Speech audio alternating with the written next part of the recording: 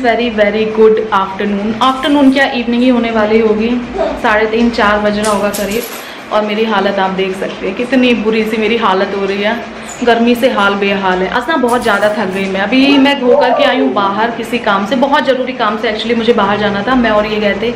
इतनी ज़्यादा थकान हो रही है मेरे शक्ल से, आपको लग रहा होगा। धूप ना, एकदम सारी एनर्जी आपकी एकदम नहीं कहते एब्जॉर्ब कर लेती है, सारी एनर्जी खींच के रख लेती है धूप तो बाहर होकर के आए, अभी मैं आधे घंटे से रेस्ट कर रही थी, मैंने कहा उसके बाद में ब्लॉगिंग स्टार्ट करूँगी। धूप में बहुत हालत ख़राब हो गई थी बाइक से ही गए थे कार से नहीं गए थे एक्चुअली फिर तो फिर सोने पे सुहागा। बाइक से जाओ तो फिर और ही ज़्यादा गर्मी लगती है, और ज़्यादा थकान हो जाती है। तो अभी हम लोग करके आए हैं। जस्ट नहाया हुआ बिल्कुल भी नहीं क्योंकि आ, पता है मुझे पता था कि एक्चुअली एक्चुअली मुझे पता था मैंने संडे के लिए ही छोड़ के रखा हुआ था कि मुझे जाना पड़ेगा। इस वजह से मैंने मॉर्निंग से नहाया नहीं है। आज पूरा दिन हो गया मैं बिना नहा करके हूँ ऐसे ही सो आप लोग माइंड मत करना। तो जस्ट अभी मैं शार लेने जा रही हूँ। धूप से जब आते हैं, एकदम शार नहीं लेते हैं, नहाते नहीं हैं। नुकसान करता है, तबीयत खराब होने के चांसेस रहते हैं। तो थोड़ी देर आप रेस्ट कर लो, उसके बाद तो वही मम्मी ने मुझे कहा, नहीं तुरंत नहीं नहाना है, थोड़ी देर रुको, अभी धूप से आई हो। इसलिए मैं बैठी थी इतनी देर से। अब जा रही हूँ, नहाऊँगी और आगे के काम करूँगी। पूरा दिन मतलब आज ऐसे किधर से निकल गया, पता भी नहीं चला।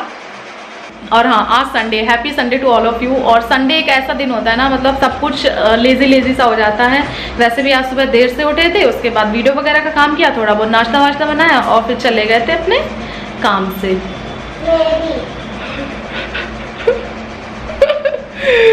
क्या रही सॉरी सो सॉरी क्या क्या रही है? मैं भी। मतलब नन्नू भी गई थी ना। दे दो पैसे, दे दो। नानी को दे दो पैसे, नानी को। नानी को दे दो। और थोड़ी देर पहले मैंने अपनी मम्मी के साथ एक बहुत क्यूट सी पिक शेयर की थी। आप लोगों के इतने प्यारे प्यारे उस पर कमेंट्स आ रहे थे इतने प्यारे प्यारे मुझे पढ़ करके बहुत अच्छा लगा। अभी मैं थोड़ी देर से फ्री थी तो मैं वही सब देख रही थी। आप लोग मेरी माँ को अपनी माँ की तरह प्यार करते हो उसके लिए दिल से थैंक यू जब इतने हज़ारों लोग मेरी माँ को इतना प्यार देते तो मुझे बहुत बहुत ज़्यादा अच्छा लगता है। बहुत ही खुशी मिलती है देख करके कि हाँ मेरे सिवा भी इतने सारे लोग हैं जो मेरी मम्मी को प्यार दे रहे हैं। नन्नू? क्या? ऐसा नहीं करो सोना तो चलिए मैंने कहा थोड़ी सी आप लोगों से बात करती हूँ और पहले नहा लेती हूँ उसके बाद मैं बात करूँगी। थोड़ा अंदर से ना वैसे ही हो रहा है। क्या बोलते हैं? उलझन सी हो रही है बिना नहा करके। तो इन्होंने भी नहीं नहाया था ये गए नहाने उसके बाद मैं नहाऊँगी। हम्म, हम्म।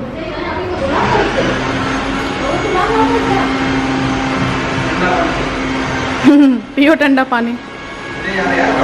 गर्मी है ना सही है? अब क्यों जा रही सोना? अभी तो पापा घुमा के लाए आपको, पापा काम से जा रहे चलो।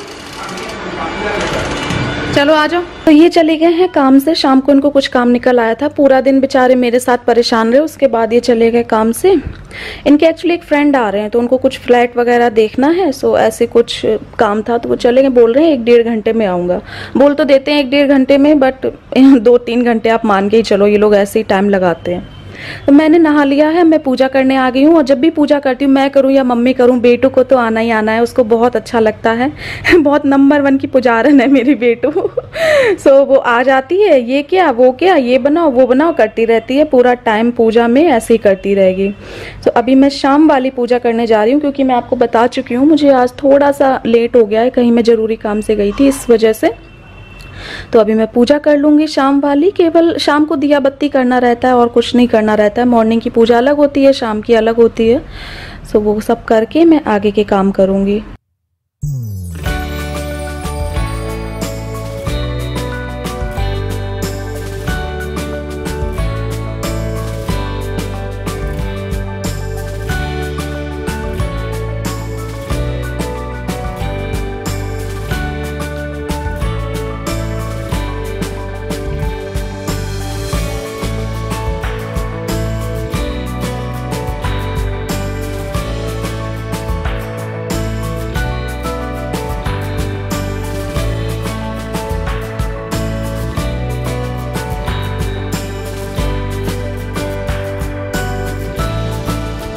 पूजा करने के बाद मैं आ गई हूँ डिनर की प्रिपरेशन करने के लिए और डिनर में आज मैं बनाने जा रही हूँ कुछ स्पेशल।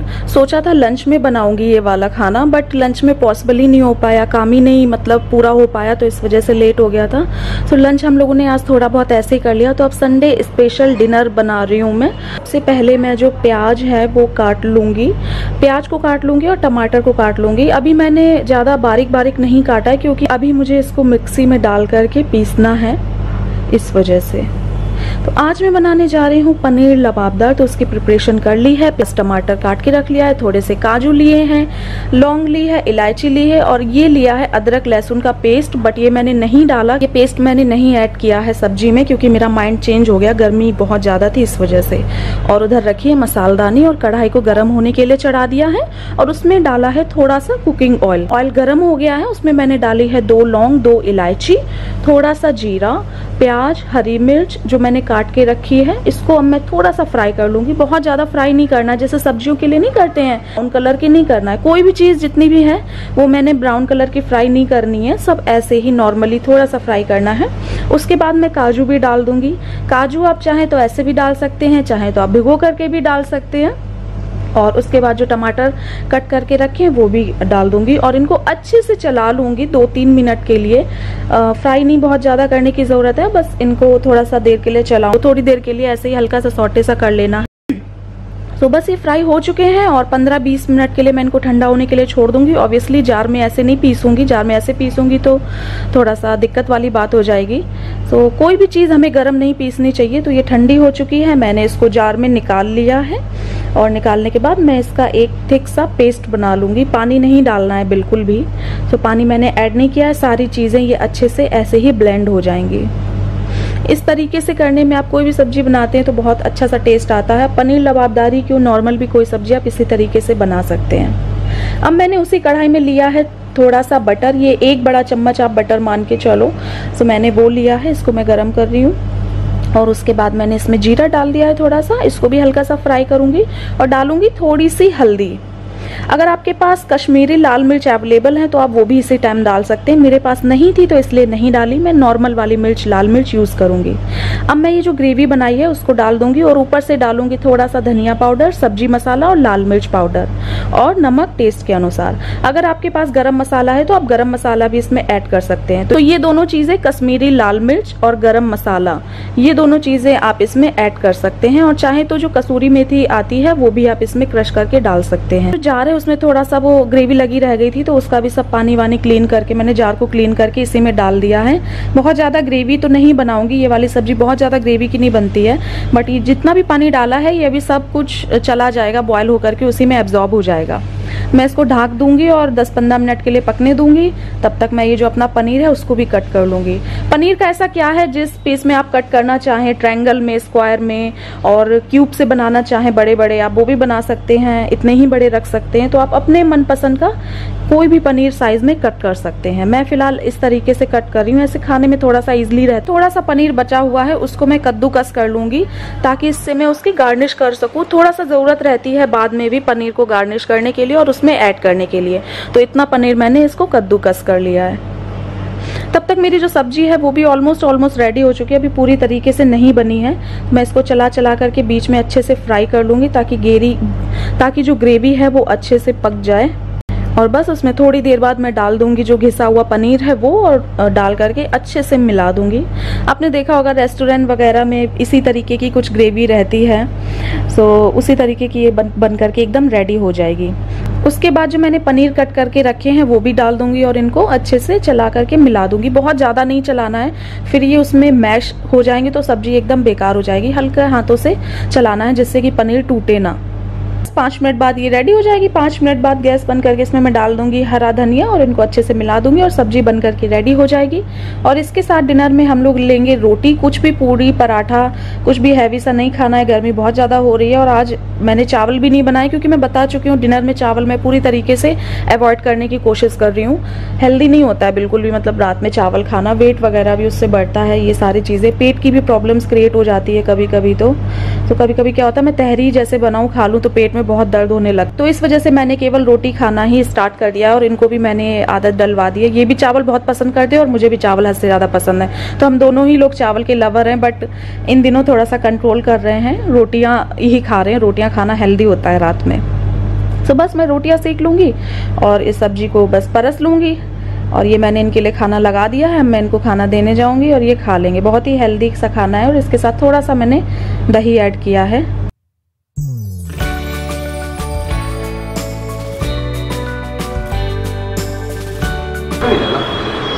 क्या? डाला है मक्खन में? बनाइए मक्खन में? कैसे बनी? सब पता है? जैसे ज़बरदस्त ज़बरदस्त बोलते हैं सब तुम्हारी तरह। खाना वाना बना के इनको खिला के हो गई हूँ फुर्सत थोड़ा सा। ऑब्वियसली थकान हो गई क्योंकि किचन में बहुत बहुत भयानक वाली गर्मी लगती। आज हद से ज़्यादा गर्मी। आज का टेम्परेचर कितना होगा मुझे नहीं पता बट चालीस वालीस होगा। नहीं? आज चालीस वालीस के हिसाब से लग रही मुझे गर्मी। अड़तीस तो होगा ही होगा मतलब बहुत भयानक वाली गर्मी है। और आज मुझे चश्मा भी बहुत दिक्कत दे रहा था। जैसे मैं उस दिन बता रही थी ना, वही वाली प्रॉब्लम आ रही थी मुझे यहाँ पर, बहुत ज़्यादा परेशानी हो रही थी। बट काम तो करना ही है। तो ये खा चुके हैं, अब मेरी टेंशन ख़त्म हो गई अब मुझे नहीं खाना है। इतनी गर्मी में थोड़ा सा मैं रेस्ट लूँगी, उसके बाद तसल्ली से खाऊँगी। चले गए सोने, इनको सुबह जाना है जल्दी से ऑब्वियसली ये काम पर जाते हैं। सो ये सो गए हैं जल्दी, अब मैं अपना थोड़ा बहुत रिलैक्स करूँगी। थोड़ी बहुत देर में मैं और मम्मी खाऊँगी, उसके बाद देखते आगे क्या करना है। बाल अभी तक हल्के से गीले हो रखे हैं। मैंने आज थोड़ा सा ना शाम को नहा पाया था तो ये देखिए, बाल अभी भी गीले हैं मेरे। किचन में तो बाल खोल के काम करना एकदम इम्पॉसिबल है। अभी भी भीगे हैं तो मैंने अभी खोल लिए फ़ैन के नीचे बैठ के वहाँ करके आज तो लग रहा फ़ैन में से भी हवा नहीं आ रही है। और आपको मेरा आज का लुक कैसा लगा मुझसे शेयर करना। मैंने ये वाली झुमकी पहनी है। ये मुझे बहुत क्यूट सी लगती है। ये पता है, ये मैं गई थी कहाँ गई थी? चांदनी चौक गई थी तब इनके फ्रेंड की एक्चुअली एक शॉप इनके फ्रेंड की फ्रेंड की शॉप है उसने ऐसे ही मतलब गिफ्ट करके गिफ्ट के तौर पे मुझे दी थी। तो उसने कहा, अरे भाभी ले लो, पैसे नहीं देने, पैसे नहीं देने। ऐसे करके तो मुझे अच्छी लगी तो ये वाली ले ली। मैं पैसे देने लगी तो फिर उन्होंने लिए ही नहीं। और ये पहना है आज मैंने मंगलसूत्र और ये वाले कड़े बहुत पुराने। ये मेरी जो है, शादी के तुरंत बाद ही मैं नानी क्या गई थी तो वहाँ पर जैसे नहीं, सड़क पर बिकने आते रहते हैं, वहाँ कस्बों टाइप में तो वहाँ पर सारा सामान बिकने आता है। सो वहाँ पर बिकने हैं तो मैंने ले लिए थे। ऐसे मतलब आगे पीछे के और थे वो पता नहीं कहाँ चले गए टूट गए जाने क्या हो गया बट ये बचे। तो इस सूट पे मैच कर रहे हैं ना? अच्छे वाले कड़े एकदम मैच हो गए ना मम्मी इस सूट पे? कितने दिन बाद पहने एकदम मैचिंग के आ गए। सच में बहुत हालत ख़राब है। आज आज मैंने ये वाला सूट पहना है ये वाला सूट हाँ तो ये है मेरा पूरा ये तो ये है मेरा न्यू वाला सूट जो मैंने सिलवाने को दिया था तो ये आ गया था गोविंदपुरी से। और एक और है ऑरेंज कलर का, वो मैं आपको कभी नेक्स्ट ब्लॉग में पहन करके दिखाऊँगी। दो सूट थे जिनका आप बेसब्री से वेट कर रहे थे। बहुत सिंपल से कोई ज़्यादा वो नहीं है। जैसे डेली उस टाइप के पहनने के लिए मैंने ले लिया, कुछ ज़्यादा हाई फाई लिए नहीं। मेरी वैसे ऐसे कोई मजबूरी नहीं है कि मुझे सूट ही पहनना है। ये मेरे मन के ऊपर है। मैं जब चाहूँ वेस्टर्न पहन सकती हूँ, जब चाहूँ सूट पहन सकती हूँ तो इस वजह से मैंने सिलवा लिए। आजकल मुझे भूत सवार हुआ है। एक बार मुझे भूत सवार था सूट पहनने का, जब मैं नाइन्थ क्लास टेंथ क्लास में थी। टेंथ एंड फ़र्स्ट ईयर में मैंने दो साल तक मुझे सूट पहनने का इतना भूत सवार हुआ। मम्मी से पूछो, हर तरीके से कानपुर में एक शिवाला मार्केट है। वहाँ से जाती थी मार्केट से और सूट लाती थी और सिलवाती थी और पहनती थी। और फिर बीच में छूट गया था, फिर से मुझे अच्छा लगने लगा अभी तो दो ही सिलवाए हैं, आगे भी और मैं लूँगी जा करके। अभी देखते हैं गोविंदपुरी कब जाना होता है। जब जाऊँगी तब लूँगी जा करके ये तीन सौ वाले थे। तीन सौ तीन सौ वाले थे। मम्मी ने हाँ याद आ गया। नहीं, नहीं, मम्मी ने कहा सौ है? हाँ मम्मी ने कहा हाँ नहीं अभी एकदम से याद आ गया। तुमने नहीं कहा उससे पाँच सौ है। कि और दीजिए मैडम सौ रुपए? क्यों दे सौ रुपए? मम्मी मम्मी ने कहा क्यों दे सौ रुपए? मम्मी ने कहा और वो इतनी तेज हंसे उसकी हँसी निकल गई कि क्यों दे का क्या मतलब? ये ढाई सौ ये सूट तीन सौ का है ना तो आपने दो लिए हैं। तो हम भी इतना हंस दिए फिर मम्मी की भी हँसी निकल गई। वो बेचारा खड़ा, पाँच सौ रुपये दे दिए। अब मुँह देख रहा मम्मी भूल गई कि ढाई सौ वाले में से नहीं, तीन सौ वाले में से लिए थे। तो अच्छे रहते हैं वहाँ के सारे सूट, साड़ी सब अच्छे रहते हैं। अभी जाऊँगी तो मम्मी के लिए भी लूँगी जा करके और अपने लिए भी सूट लूँगी जा करके। फोकस नहीं कर रहा है क्या? फोकस पता नहीं। कर गया हाँ। तो आपको मेरा आज का ये लुक कैसा लगा? थोड़ा सा भी अच्छा लगा तो एक लाइक कर दीजिएगा। गर्मी बहुत ज़्यादा लग रही है। मैं थोड़ी देर और पहन पाऊँगी। थोड़ी देर में मैं इसको हटाने ही वाली हूँ क्योंकि ऑब्वियसली कंफर्टेबल नहीं है बिल्कुल भी। क्योंकि नया और नया भी है तो थोड़ा सा और ज़्यादा गर्म कर रहा है। और इसको मुझे करना है थोड़ा सा सही। मैं आपको बताऊँ, जैसे कोई भी सूट वगैरह सिल के आए ना तो एकदम परफेक्ट नहीं बैठता कहीं कुछ कमी होती, कहीं कुछ कमी होती। तो मुझे हल्का सा यहाँ से टाइट लग रहा है तो मैं मम्मी से सही करवा लूँगी।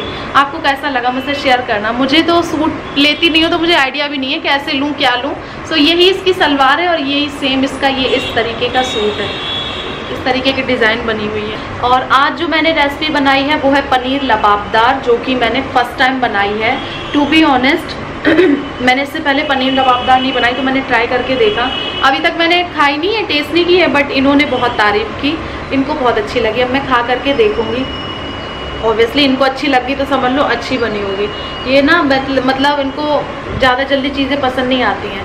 तो ये बहुत अच्छे अच्छे बोल रहे थे तो अब मेरा भी मन कर रहा है खाने का। बट थोड़ा सा मैं रिलैक्स करूँगी। अभी नहीं खाऊँगी। गर्मी बहुत ज़्यादा लग रही है।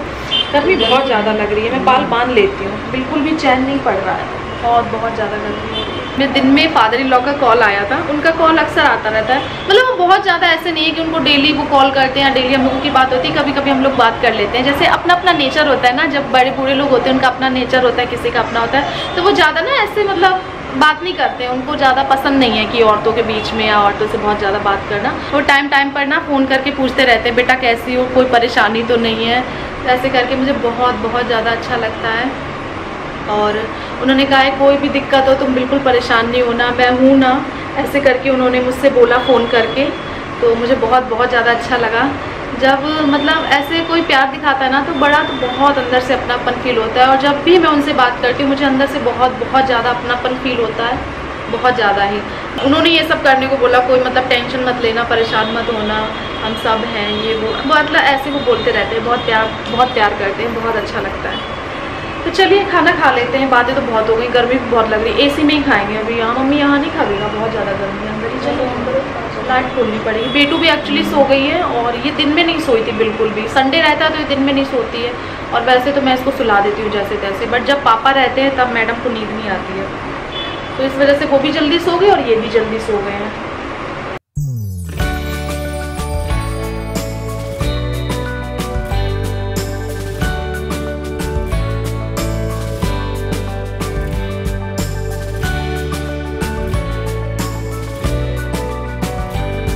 आपको एक बात तो बताना ही भूल गई। अभी थोड़ी देर पहले जब ये खाना खा रहे थे, इनको भूत सवार हो गया था। कह रहे थे मूवी देखने चलो मूवी देखने चलो। नाम कौन सा बता रहे थे? हमने भूल और गए। वो शाहिद कपूर की नहीं आई है? क्या नाम उसका? अरे, उसका नाम याद नहीं आ रहा मुझे। अभी नई शाहिद कपूर की जो आई है। कह रहे, हम और तुम चलते हैं केवल। चलो। और वो मम्मी के साथ नहीं देख सकते हैं। उसमें थोड़ा सा ना लैंग्वेज सही नहीं उसकी हुई है। तो मम्मी को फिर कहीं और ले चलेंगे। और इतना मेरे पीछे पड़े थे, चलो, साढ़े दस की टिकट करवा रहे हैं, बताओ, पौने ग्यारह की टिकट करवा दे, ऐसे कह कह के बड़ी मुश्किल से मैंने इनको संभाला और सोने के लिए भेजा। मैंने कहा, सो जाओ जा करके सुबह काम पर जाना है कि मूवी रात भर देखेंगे। साढ़े दस, ग्यारह बजे जाएँगे, लौट के कितने बजे आएँगे? और मैं अपना काम कब करूँगी? तो अभी ये ना, फिर सोने चले गए थे मतलब मेरी बात इनको कुछ समझ में आई तो फिर ये सोने चले गए। टाइम बहुत हो गया है, मैं भी अब इस व्लॉग को एंड करूँगी। छोटा सा व्लॉग है आई एम सॉरी आज के लिए। आप लोग मैनेज कर लेना। आज मैं बहुत ज़्यादा मतलब थक गई थी, बाहर गई थी ना बट इट्स ओके थकान तो होएगी जब मैं कुछ अच्छा सा काम करूँगी। बाहर निकलूँगी तभी तो थकान होगी अब, है ना? घर में बैठे बैठे तो काम होते नहीं है सारे, और काम के लिए बाहर तो निकलना ही पड़ता है। इस वाले ब्लॉग को एक बार एंड करती हूँ और चेंज करती हूँ। बहुत ज़्यादा उलझन भी दे रहा है। थोड़ा सा इसको मैं सही करवा लूँगी, उसके बाद में पहनूँगी। जब जो कपड़े पहनने का मन करता है, जिस तरीके से मैं पहन लेती हूँ, मुझे अच्छा लगता है। ये बहुत इसने नखड़े कहते हैं देने में। बहुत ज़्यादा। मतलब ये लोग टेलर लोग बोल कभी भी देते हैं, देते बाद में, क्योंकि इनके पास बहुत ज़्यादा काम होता है ना। मेन मार्केट में शॉप है इनकी। बहुत ज़्यादा ही इनके पास रश रहता है इस वजह से। दो तारीख को बोला था, मैं छः तारीख को लेने गई छः तारीख को दोपहर में गई, बोला आप शाम को आना, शाम को बोला एक घंटे के बाद आना, ये सारे ड्रामे इनके रहते हैं। बड़ी मुश्किल से वाला सो मम्मी ने कहा, लेके तो मैं आज ही जाऊँगी, मुझे नोएडा जाना है, मैं बार बार यहाँ थोड़ी ना आ पाऊँगी। नहीं कब गोविंदपुरी जाना हूँ, अब देखते हैं दो तीन दिन में जाते जाते हैं, उसके तब तक मेरा सूट तो आ गया वेट हो नहीं रहा था मुझसे ना आप लोगों से हो रहा था। मैंने कहा, चलो लेकर के ही आती हूँ मैं। तो चलिए करती हूँ इस ब्लॉग को एंड आपको थोड़ा सा भी अच्छा लगा एक लाइक दे देना। आपका एक लाइक मेरे लिए बहुत बहुत ज़्यादा मायने रखता है। And thank you so much इतने प्यारे प्यारे कमेंट्स करने के लिए। हज़ारों की तादाद में जब इतना प्यार मिलता है ना तो बहुत बहुत सुकून मिलता है दिल को। और थैंक यू सो मच मेरे साथ ऐसे बने रहिएगा जुड़े रहिएगा। जल्दी मिलूँगी मैं नए वीडियो के साथ। इस वीडियो को लाइक कर दीजिएगा। Take care love you all love you all bye bye good night mummy सबको गुड नाइट बोल दो। हमारा ही नहीं घूम रहा है। Bye bye good night